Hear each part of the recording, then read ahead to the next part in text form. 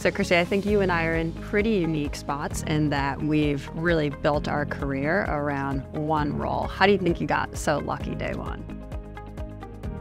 Well, part of it probably is a little bit of luck, but I think what's really kept me at the same firm for so long, I've never been bored. That's a big part of it. Um, and I think that it's given me a chance to actually have a career. You don't always get that at, at, one place. You know, you have a job to do, but to have a career that can evolve over time is, is really special. And then it comes down to culture, and people obviously has a big impact on it. Ares is a firm that not only matches the values, but shows it with its actions and the way it treats people and its community. Um, so I really haven't had a reason to look elsewhere because it's fulfilled me on both the career and personal side. But how about yourself? You're in the same situation.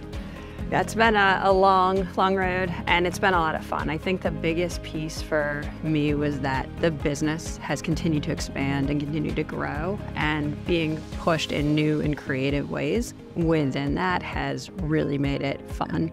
Definitely not bored yeah. on a day to day.